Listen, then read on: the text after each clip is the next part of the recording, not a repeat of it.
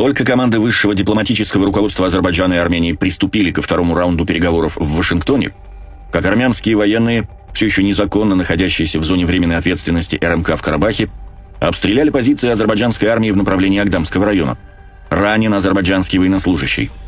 Ответными мерами ликвидированы пять армянских военнослужащих. Еще раз повторим. Обстрел наших позиций ведется из зоны временной ответственности РМК, а не со стороны условной границы с Арменией. Является ли это свидетельством того, что официальный Ереван не имеет к эскалации никакого отношения? Вряд ли. Скорее, команда Пашиняна демонстрирует незатейливый маневр. Мол, мы тут ни при чем, и за карабахских армян не отвечаем. Еще как отвечают.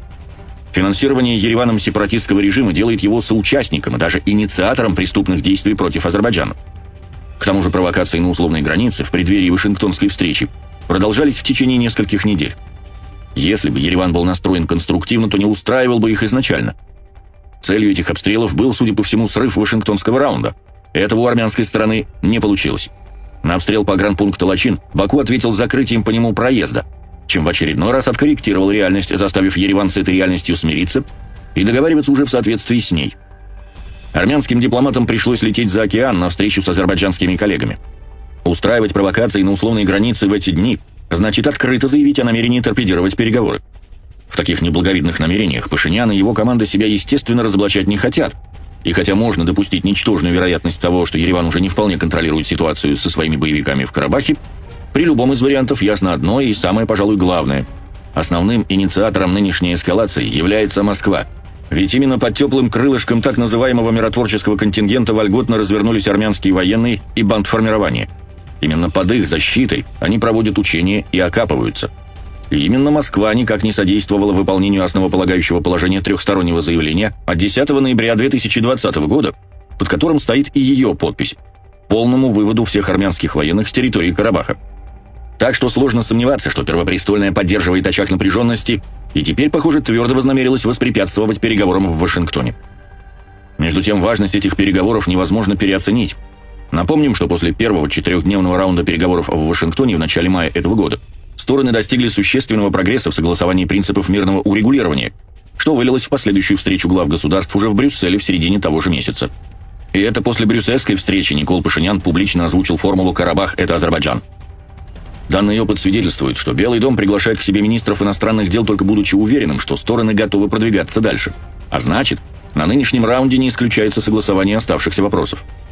Учитывая тот факт, что после признания Карабаха в составе Азербайджана армянская страна в качестве единственного предусловия для заключения всеобъемлющего мира продолжала настаивать на участии международных институтов в диалоге Баку-Ханкинди, позволим себе предположить, что именно в этом вопросе и ожидался прогресс на нынешнем американском треке.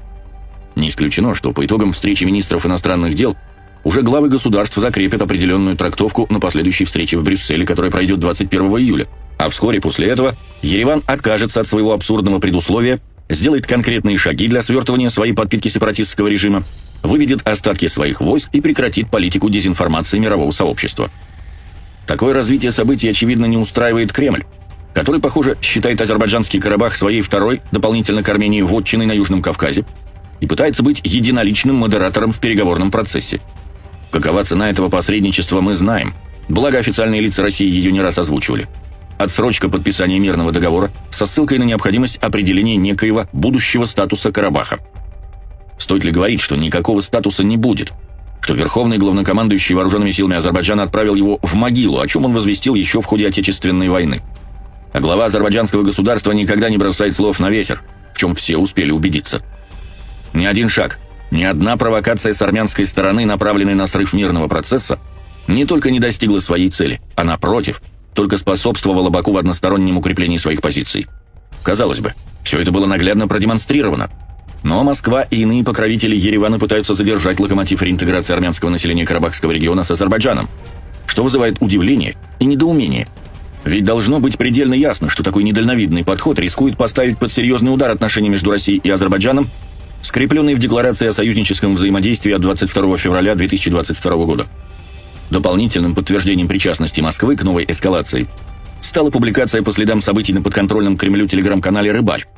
Насквозь ангажированное издание преподнесло новость так, будто это Баку начал обстрелы, не упоминая про ранение нашего солдата издобрив информацию полным набором комплементарных к преступникам понятий типа «республика Арцах» и прочее.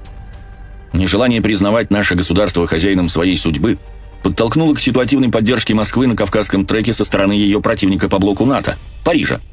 Ведь именно эта столица, не обладая возможностью устраивать провокации на земле, обеспечивает некое подобие политической поддержки агрессивному армянскому проекту, инициируя враждебные инициативы в различных европейских органах, организовывая гнусную антиазербайджанскую истерию в СМИ. Вот и недавно – в преддверии переговоров в Арлингтоне председатель подкомитета Европейского парламента по вопросам безопасности и обороны, гражданка Франции Натали Луазо, будучи с визитом в Армении, посетила участок границы у Лачинского ППП и сделала провокационное заявление в адрес Азербайджана. Смехотворный демарш. Ну что ж, мы только рады, что Луазо и прочие залетные птицы уже не способны проникать в Карабах, как раньше, и могут любоваться им лишь издали. Ну а пока за одного раненого азербайджанского бойца азербайджанская армия уничтожила пятерых вражеских – причем двое из пяти уничтоженных в Карабахском регионе Азербайджана террористов, являются военнослужащими вооруженных сил Армении, что разоблачает ложь официального Еревана об отсутствии собственных войск на территории Азербайджана. И это только начало.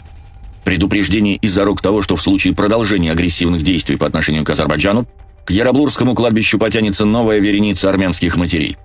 Ситуация ныне такова, что каждый шаг, направленный на обострение эскалации, только увеличивает количество жертв среди армянских военных – и способствует накоплению недоверия и даже ненависти простых армян к горе-покровителям. Азербайджан ясно дал понять, что Миацум – это враг Армении. Поддерживать замшилый армянский экспансионистский проект значит зачислить себя в ряды врагов армянского народа.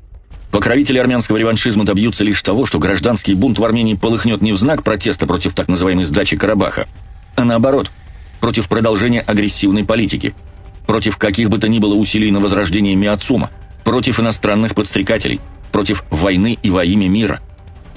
Все, кто лелеют рудимент прошлой эпохи в виде тлеющих углей фейкового армянского образования на территории Азербайджана, цепляются за прошлое. Азербайджан устремлен в будущее. Если хотите войти в будущее, не тревожьте Азербайджан.